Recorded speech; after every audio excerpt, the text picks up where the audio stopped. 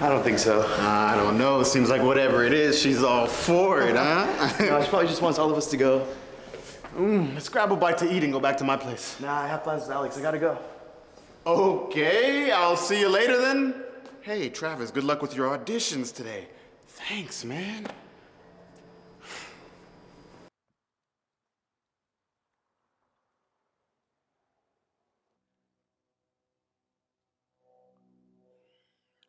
All I'm saying is, how you gonna ask me to deal with some shit after I done clocked out?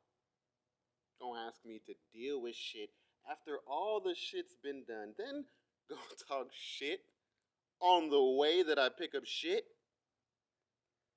Ask me that job is full of shit. This is all a joke to you, isn't it? Of course it is.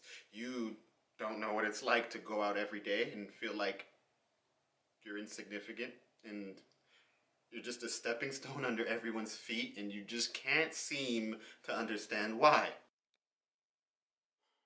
You have been worshipped by everyone since the day you were born. I don't expect you to understand the flip side of life.